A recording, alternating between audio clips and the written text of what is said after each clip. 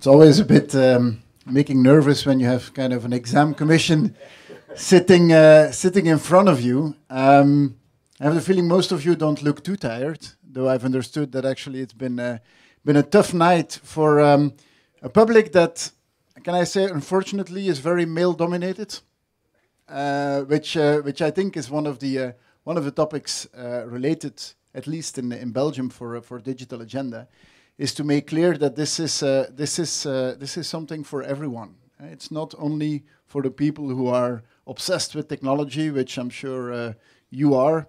Uh, but it's also trying to uh, trying to open it up and trying to open it up for for everyone. And we've understood that in the next years, 80% uh, of all the jobs, at least in uh, in Europe, will require some kind of digital skill.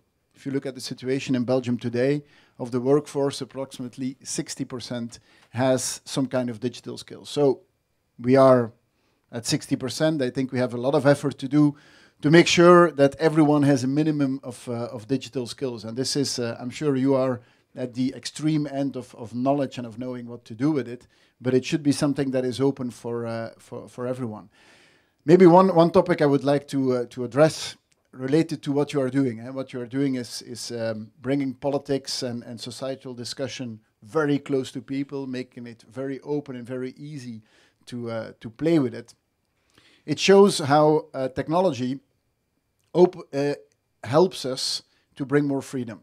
And I think if you look at the role of the internet in the last, let's say, the last 20 years, the internet has given us more freedom, more freedom to shop whatever we want.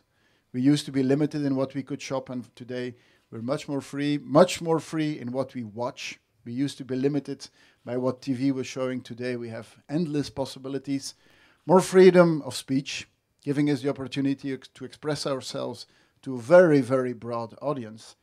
But what I want to make sure is that technology and the internet remain something that makes people free and not the opposite.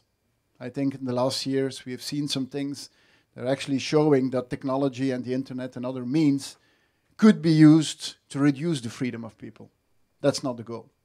If we see what has happened in the last 20 years, it has been such a force of freedom, it should remain this way. And this is a role for us, but it's also a role for you. I think in bringing politics and societal discussion closer to people, it makes them aware of the freedom we have today and the contrast with uh, 10 years ago. So uh, I would say continue the good work, and we uh, will try to do the same on our side. Thank you. Well, first of all, to, to congratulate people who are passionate and about technology and about society and, uh, and politics. That's the first part. Second part is uh, technology has, has made us so much more free. It has made us free in, uh, in freedom of expression, in freedom of shopping what we want, uh, but also in being able to have uh, to, to follow politics. And this is something that uh, brings people closer to politics and to make it very tangible, the freedom we have in discussing things and being part of our society. And I think this makes it very tangible.